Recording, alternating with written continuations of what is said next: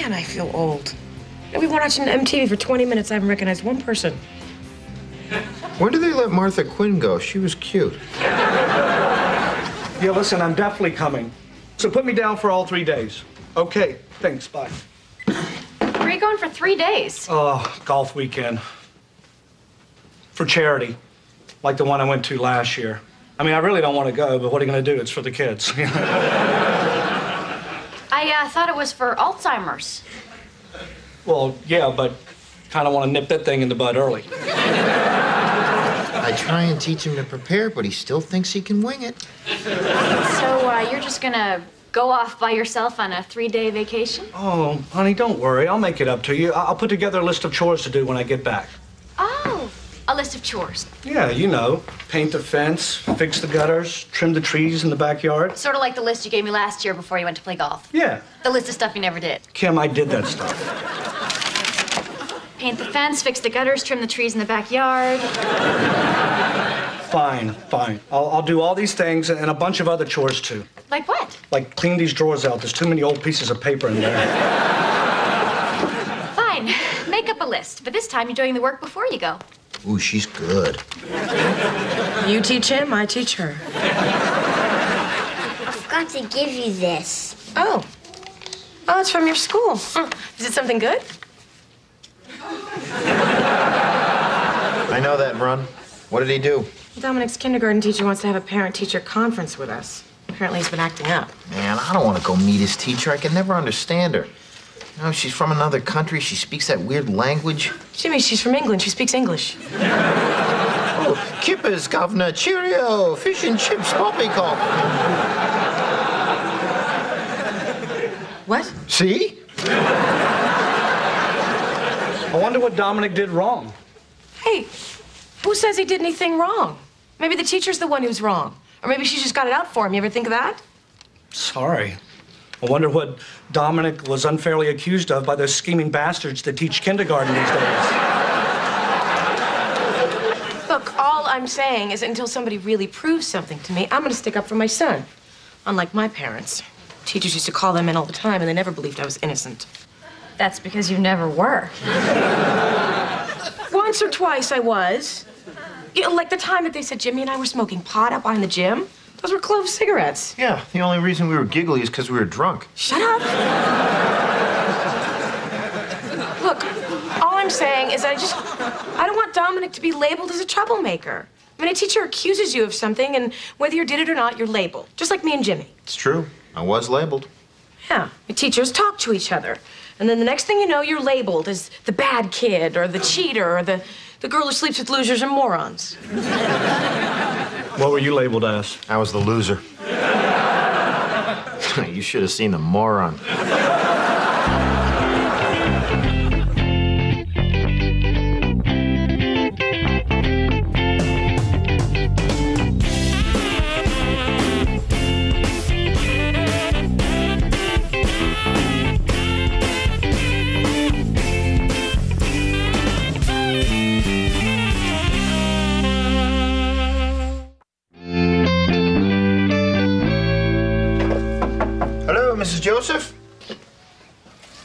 Well, she's not here. Let's just go. No. Well, wait. What's the matter with you?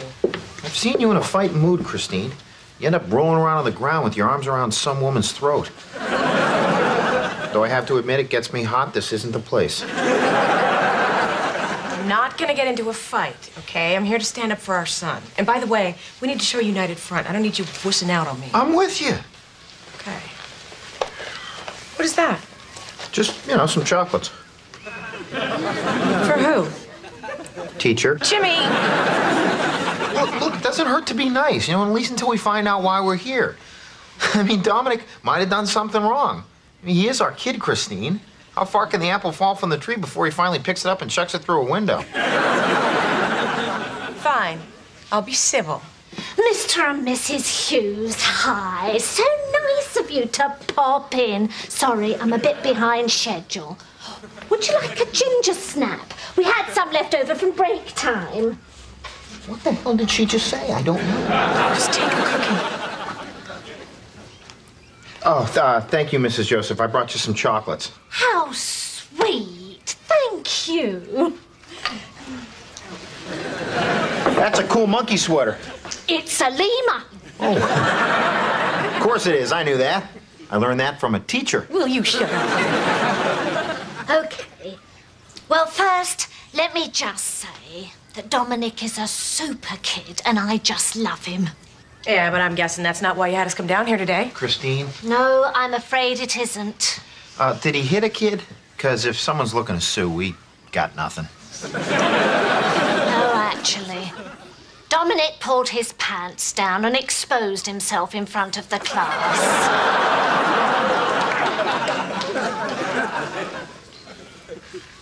Was it his back self or his front self? His back self. Well, that, that shows some restraint. Yesterday, during a game of Duck Duck Goose, when Molly came around to Dominic, well. Molly goose a little more than she bargained for.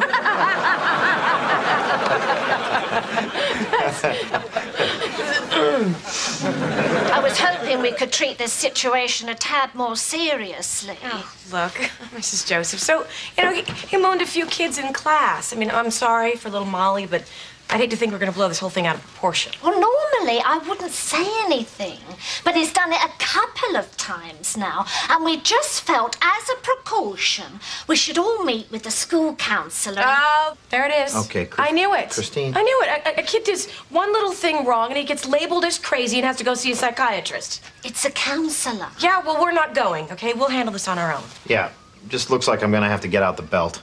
Oh, I really don't think hitting is the answer. Hit him? No, I gotta put a belt on him, you know, tie it on real good. Look, I appreciate you wanting to handle this on your own, but it's school policy that when something like this happens more than once, the child meet with a counselor. Yeah, well, it's our policy that he doesn't, and we made him, so I think we're about done here. Jimmy? Listen, I hate to be like this, but if you refuse to allow Dominic to meet with the counselor, he may not be allowed to stay in the class. You know what? I don't care if he stays in the class. Mrs. Hughes, try to understand. I have a responsibility to all of my students. Well, I only have a responsibility to one. And if you insist on making him see a counselor, then he's not coming here anymore. He has to go to school. There's, there's some kind of law about that, isn't there? Yeah, but he doesn't have to go to this school. He can, he can go to a private school. Private school? Did you strike oil shooting at some food this morning? Well, fine. Forget private school. I'll teach him myself. I bet I could do a lot better than you guys anyway. What? Yeah. From now on, we're going to teach Dominic at home. A lot of parents homeschool their children. But we're never any good at school. We'll be fine. but we don't even have a home.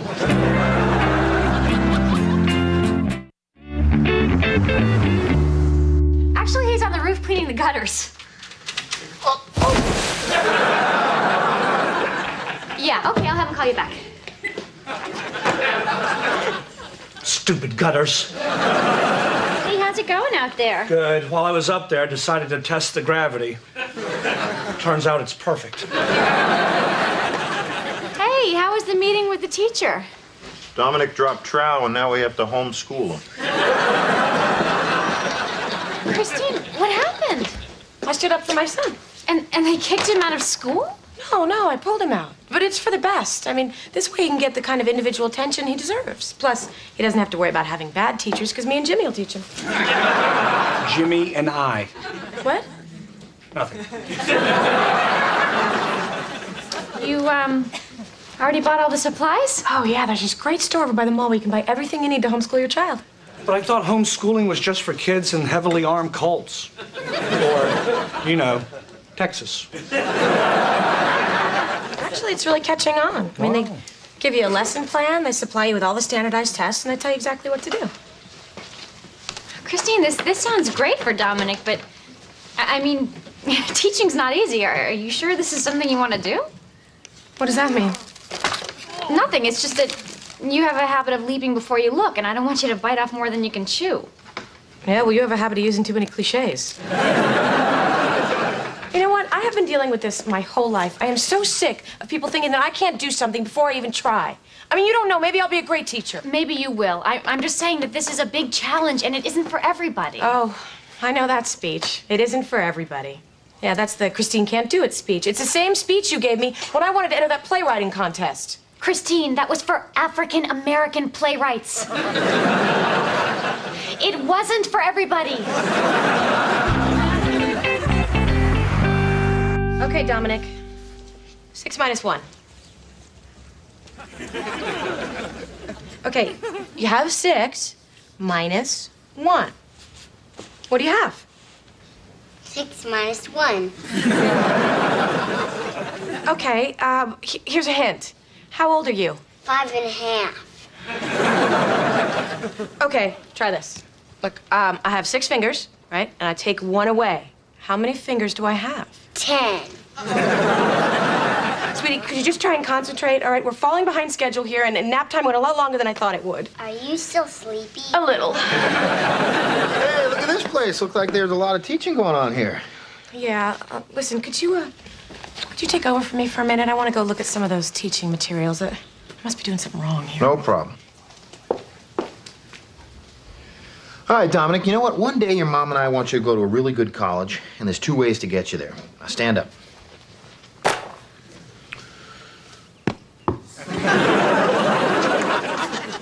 Looks like we're gonna have to do it the hard way.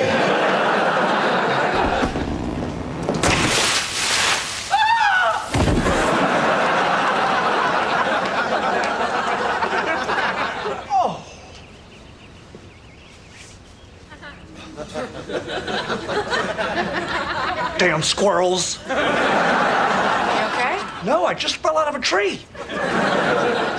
God. So how's the teaching going? No, not so good. Well, relax. It's your first week. I can't relax. I mean, if my son doesn't get a good education, who's going to support me when I'm old? I'm guessing me. It's just that we're behind on almost everything, and I don't know whether it's his fault or my fault. Well, don't be so hard on yourself. I mean, Jimmy is his father. but I guess that is your fault, too.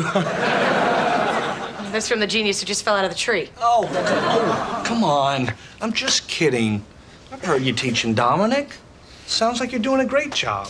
Well, I thought I was, but he doesn't seem to be learning anything, and I've been doing everything exactly the way it says in the book. Yeah, but that doesn't sound like you. You're not a buy the book kind of mom. You're not even a read the book kind of mom. Thanks a lot. No, no, no. I'm just saying that you have a different style of parenting than most people. I would think that you would have a different style of teaching. You know? It's like when you, you potty trained Dominic. You painted that bullseye in the bottom of my toilet. He loved that. Actually, that was for Jimmy, but I see where you're going.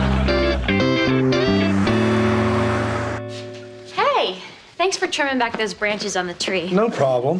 Look, I was just cleaning out the garage, and you never guess what I found. What's this? Oh, just a little list we made in college. Remember when we decided to write down our New Year's resolutions? Why don't you read me number five off your list? Be more crazy. Have sex in the library. what was I thinking? Well, the thing is, Kim, if you expect me to finish my list, it seems only fair that you would finish yours. Yeah, right. We'll just uh, leave Sammy in the children's section and then head over to nonfiction and tear it up. Yeah, that's what I thought. Well, if you're not going to do your list, I'm not going to do mine. I think I'm going to go make a little snack. Fine, I'll do it. What's that? I'll do it. If that's what it takes to get my fence painted, then I'm not kidding about this, Kim. no, neither am I. Uh, just let me get my library card because I also want to pick up the new John Grisham.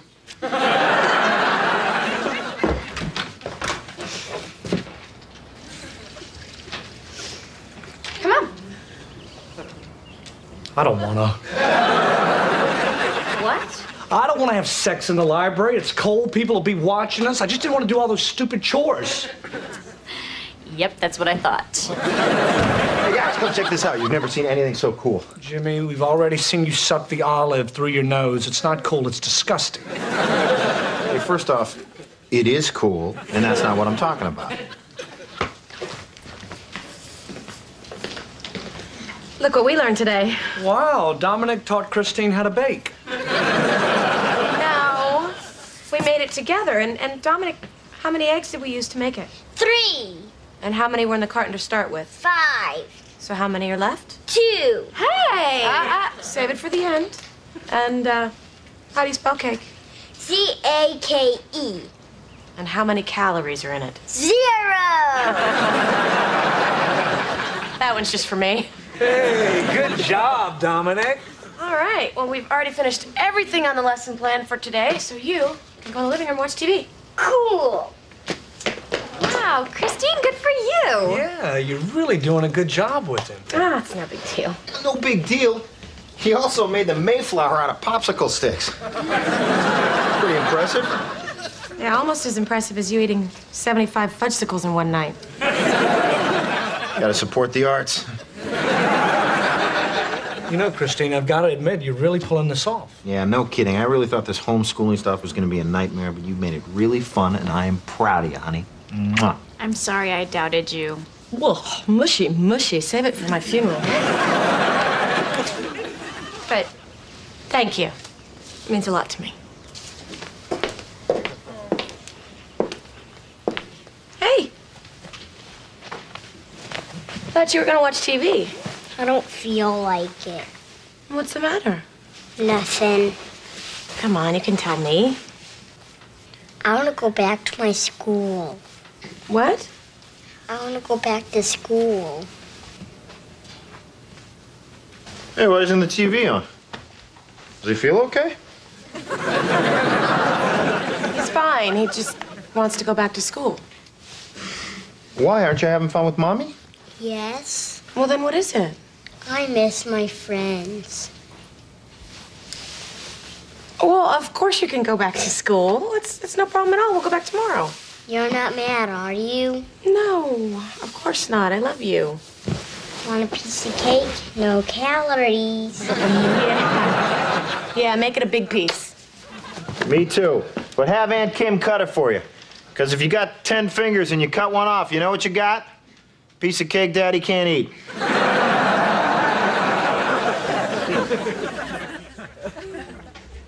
you okay? I can't believe I didn't see this coming. I'm such an idiot.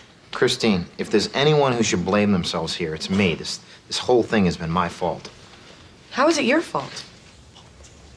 I have no idea. I'm just trying to make you feel better. You know, I never thought about what Dominic wanted. He doesn't want to stay at home with his mom all day. He wants to be with his friends. I, I made this whole thing all about me. Yeah, but honey, that's not your fault. Well, whose fault is it? Again, I'm just trying to make you feel better. I screwed up, okay? And now I have to take Dominic back to that school and bow down in front of Miss Ginger Snap. Oh, come on. Won't be that bad. You know, there's a very good chance that, you know, she might apologize to you and say the whole thing is her fault. Why would she do that? You know, you are a very hard person to cheer up.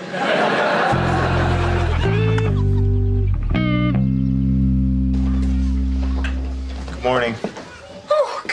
Good morning, Mr. Hughes. Good morning, Dominic.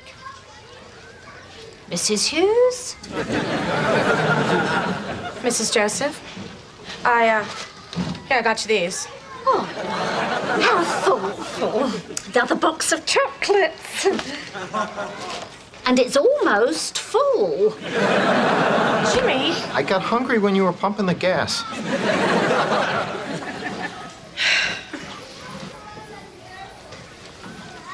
Mrs. Joseph, we were just wondering if Dominic could come back to class. Well, of course he can. Because he missed his friends, not because he's behind, because, in fact, I think he's ahead. That's great. But before we readmit him, we're still going to have to meet with the council. Oh, of course, of course, whatever it takes. But just so you know, I don't think he's going to be giving you any more problems. I mean, I've been with him all week. He's been a perfect gentleman.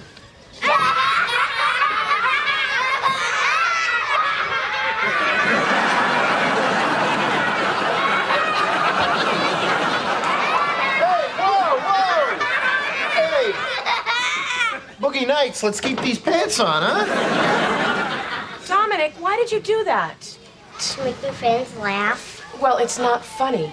Dominic, Where on earth did you learn that that kind of behavior was funny? Well, he probably picked it up from one of the other kids in class. Is that true, Dominic? Who did you see doing this?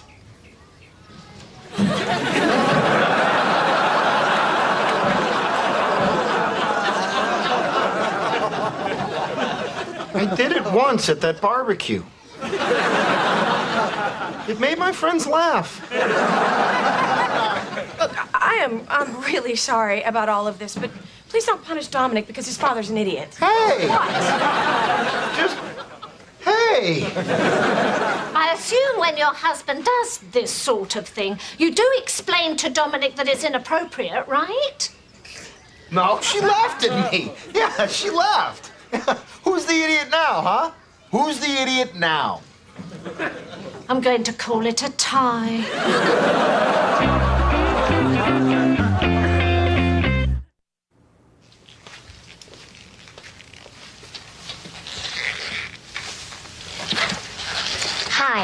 Joel Homan. I play young Dominic on TV's Yes Dear. Tonight we had a lot of fun with the subject of mooning, but this is a TV show, so for all you kids at home, keep your tushy in your pants and your TV on Yes Dear. Good night, America.